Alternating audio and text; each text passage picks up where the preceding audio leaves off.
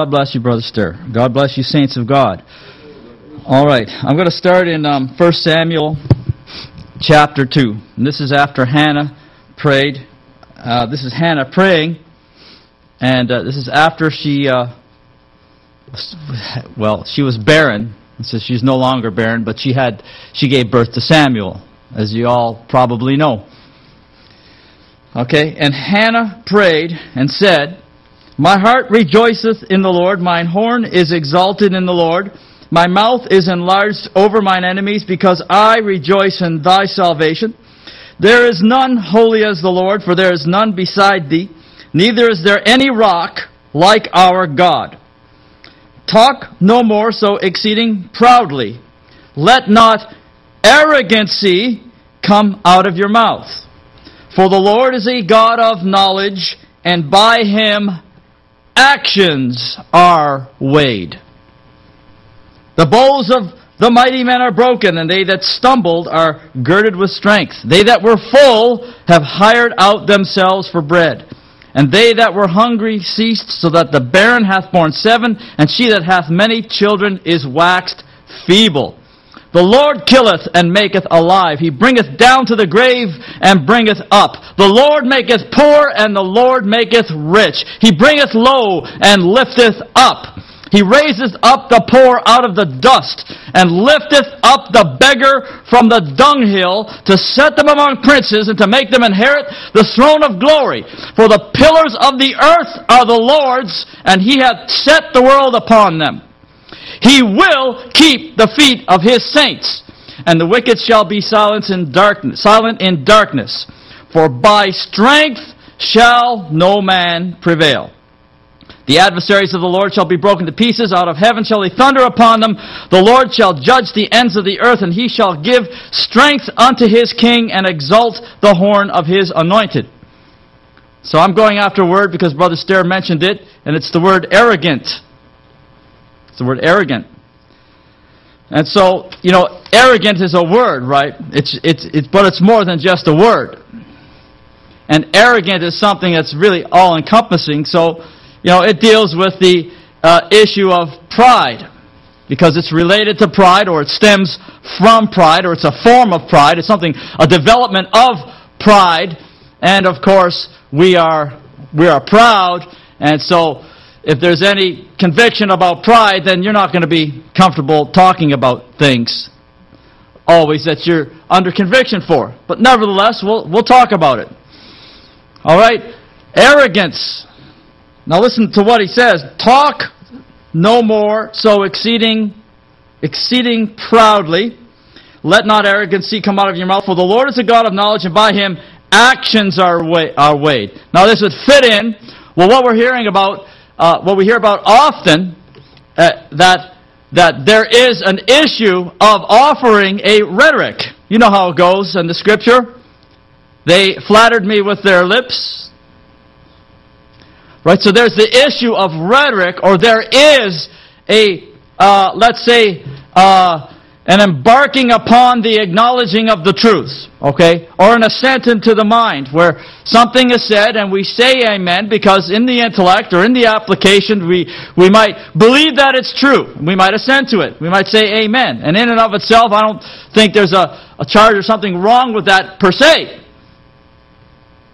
But what Hannah is saying is the, with the Lord God, actions are weighed. Okay, so when the Bible talks about conversation, sure, it's talking about what we say that comes out of our mouth, and that's the, how we presently uh, most often use the word conversation. We use it in reference to the words that come out of our mouth. Like, I had a conversation with brother so-and-so. It means we talked back and forth. We had a social intercourse. Okay, but but conversation in the fuller sense means your entire life and what your actions are doing and how your actions are speaking to God. All right, and that's what the Hannah is saying. He is a God of knowledge. He knows. He knows. And by him, actions are weighed. What are you doing? What are you actually doing? Not so much what, what we're saying and so forth. Well, saying is okay, and the renewing of your mind is okay, uh, so long as we follow on and we follow through. Okay? and James talks about uh, the man who hears the word of God and be, like beholding his natural face in a glass and goes away and straightway forgets, forgets what manner of man he is. But uh, any man who is a doer of the work, who will respond by faith and move on that word of God that has been preached, then this man shall be blessed in his deed. I've often struggled with my thoughts, and I've always come to a scripture that was brought to my remembrance uh, that uh, uh, it's, it's in the Psalms. It's a scripture that uh, acknowledging the Lord and your thoughts will be established. Okay? The Bible says, Trust in the Lord. Acknowledge Him in all thy ways, and He shall direct your paths. All right, but we're getting into a little aside there. But anyway, it's a warning. We all know we come out of a generation that's proud. The American way cultured pride. It cultured iniquity. It cultured a sense of you can't tell me what to do because I have a right and that left me free to serve myself, satisfy myself, indulge myself in accomplishments in the pride of life and make me feel good about myself and my life. And we've had the so-called liberty to exercise ourselves in that kind of uh, mindset, that kind of, uh, of uh, social environment. And it's cultured pride. The Bible promises us that you will no more be haughty because of my holy mountain. And that's, that's us. That's all of us. And so, the warning with Hannah is against not talking proudly, not letting arrogancy come out of your mouth. And we'll talk about arrogancy. We'll talk about it academically, admittedly. i am going to talk about it academically, but we'll try to fit it in. All right? So, by God, God's a God of knowledge. Actions are weighed. See, let's give another example. Uh, let me tell you something that happened. It's a little gross, but I'm going to say it. And it, in a way, it was funny, but I don't mean it to be funny. So I'm warning you in advance. I was sitting there in the uh, radio in the, in the computer room studying, and I just really felt like I didn't want to preach. And I made I was vociferous around. I said, "Lord, I really don't want to preach. I don't want to do this." Okay, I'm not saying that was right, but I'm saying that's how I felt, and I was trying to exercise this thing. So that's what I said.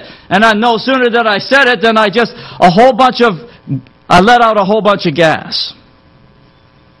It just came, all of a sudden it came upon me and I, I let out a bunch of gas. And just like that, it was like, it was just, uh, that's what I just did in the spiritual realm. Okay, just let out a bunch of stinky gas. All right?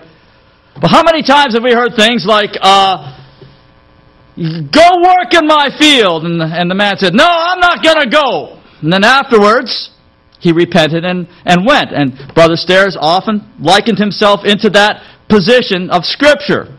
So he, you still do the Word of God. You see, you still do the word, will, will of God. Now I understand. I, I know some of the scriptures too. If I preach willingly, I have a reward. If I'm not willing, if I have to fight to preach, well, I can't get out of it because a dispensation of the gospel has been committed unto me. And no, I'm not comparing myself to Paul or a man of God, but that's just the way it is when we have to do the things that God wants us to do or commands us or called us to do for, to fulfill the things God sent us to do.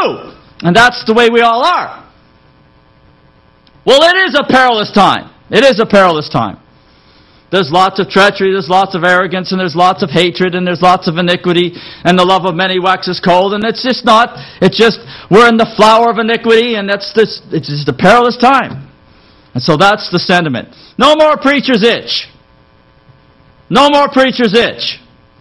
Okay, it's not, it's not an honor badge. It's not a status symbol to be a preacher. But, here's what I'm getting at. You see, the action is weighed. I can, I can sound off and say, oh, I don't want to preach, da, da, da, da, but I go and preach. Or what? Or Brother Stair, the same thing. He'll say, why do I have to speak to these people? But he comes and he speaks to the people, okay? He did the will of God. His action is weighed. Now, it'd be better if I could come willingly, wouldn't it be? If I have come willingly, I have a reward. If not, a dispensation of gospel is committed unto me. Woe is me if I don't preach and all of that. That's what Paul said, right? You know the scripture. Most of you here. That's what he said. But now, Hannah says, you know, we got to watch it. We can't be arrogant. And we're going to define it, but arrogancy. Don't let it come out of your mouth. God is a God of knowledge. By him actions are weighed. And then she goes on to tell you what God can do. Now the same thing, the same thing that I'm about to read, the same kind of pattern of events is also echoed, if you will, in Psalm 107. Uh, when, and, and I'll get to that in a minute. That's not my notes, so I'll, but, but I'll get to it. I'll reference it. Okay, but the bows of mighty men are broken. They that stumble are girded with strength. You see, he's contrasting something here. He's saying people who have had, were mighty men with, armed with bows. Okay? See, the warnings against arrogance, right? Well, the men armed with bows, all of a sudden, their bows are broken. The people that stumbled, they're girded with strength. You see, God's turning the tables. He's flipping it all around. They that were full, now they're hiring themselves out for bread. They that were hungry cease, so that the barren hath borne seven. And she, and she that hath many children is wax feeble. So you see, the barren all of a sudden is flourishing, and her that was flourishing with many children is waxing feeble. God just turning it all around. Why? Pride, arrogance.